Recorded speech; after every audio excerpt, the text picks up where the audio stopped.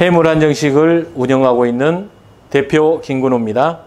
제가 수산물 도소매업을 한 15년 전쯤 뭐 홍어부터 해서 시작을 했었는데 어, 다른 사람보다는 조금 수산물을 더 저렴하게 구입할 수 있어서 조금 더 원가를 낮출 수 있지 않느냐 해서 이쪽 해물 관련된 어, 한정식을 시작하게 됐습니다.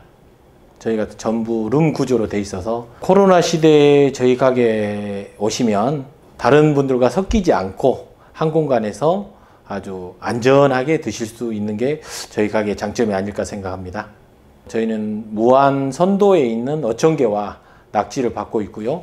영암 해남에서 농산물을 직접 공수해 와서 저희 식재료로 지금 쓰고 있습니다. 또한 저희가 무농약으로 직접 벼농사를 짓고 그 볏짚을 이용해서 저희가 만든 낙지 호롱구이 이거는 꼭 드셔보시기 바랍니다. 가격보다는 좋은 재료와 좋은 서비스로 어, 대표적인 갈만한 것을 만들고 싶었습니다.